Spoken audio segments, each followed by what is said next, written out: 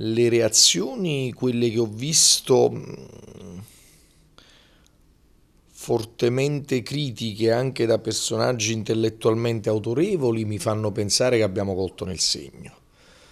Perché se uno si ferma senza approfondire, allora ci può anche stare la critica di alleggerimento. Ma quando si leggono invece le dichiarazioni che ho rilasciato sia io, sia Flavia Sorrentino e le vere motivazioni di questo sportello, io credo che non si può che essere d'accordo, perché non è né la caccia alle streghe, né la caccia alla querela facile, né l'allergia alla critica, né la propaganda, né il mettere sotto attacco nessuno. È semplicemente un luogo dove ogni cittadino, così come sono i luoghi in cui segnalano disservizi, questo è un luogo in cui si segnalano le offese, le diffamazioni, gli attacchi, le campagne strumentali fatte nei confronti di una città e di un popolo,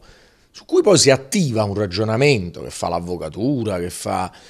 eh, negli uffici comunali, che fa l'amministrazione, che tipo di reazione avere. Ci può essere in certi casi la satira, in certi casi il sorriso, in certi casi la controinformazione, in certi casi le richieste di rettifica, in alcuni casi le azioni civili, in alcuni casi estremi le querele. Veramente mi lascia pensare che comincia a esserci forse un po' di allergia,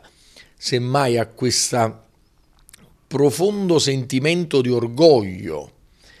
di appartenenza, di identità, di difesa della città, una città che finalmente si sta riscattando da sola, che finalmente sta costruendo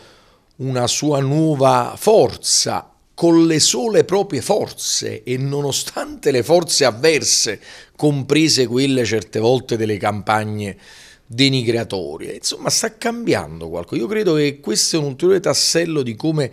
si stanno facendo vacillare evidentemente degli equilibri, anche gli equilibri della normalità dell'offesa alla città, che tutto sommato devi far finta di niente se ti dicono che sei una città ancora sommersa dai rifiuti quando lo eri sei anni fa, oppure che sei colera, oppure devi scappare perché il napoletano puzza, o Vesuvio pensaci tu, oggi è cambiata.